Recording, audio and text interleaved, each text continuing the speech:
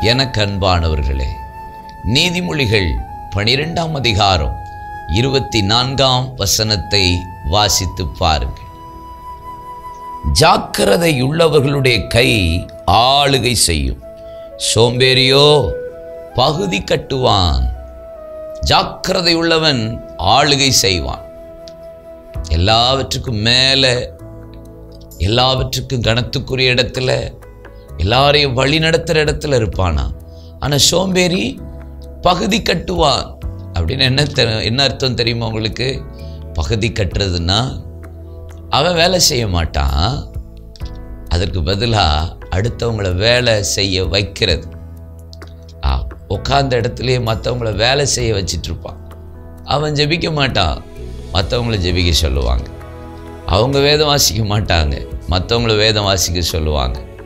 சில ஆட்களை இதுக்குன்னே அப்பாயின்மெண்ட் பண்ணி இதான் பகுதி கட்டுகிறது. ஆமாம் இஸ்ரவேல் ஜனங்கள் யோசுவா எல்லாவற்றையும் பங்கிட்டதற்கு பின்பாக நீங்கள் வேதத்தை வாசி பாருங்கள் எப்ராய் புத்தர பகுதி கட்டுகிறவர்களாய் மாறி போனார்கள் என்று யோசுவா பதினாறாம் அதிகாரம் பத்தாம் வசனத்தில் சொல்லப்படுகிறார். அப்படின்னு நம்ம வாழ்க்கையில் நம்ம உற்சாகமாக வேலை பார்க்கணும். நம்ம உழைக்கணும். மற்றவங்களையே வேலை வாங்கிறது சோம்பேறித்தனம் பகுதி கட்டுறது. மற்றவங்கள வேலை வாங்க வைக்கிறீங்களா?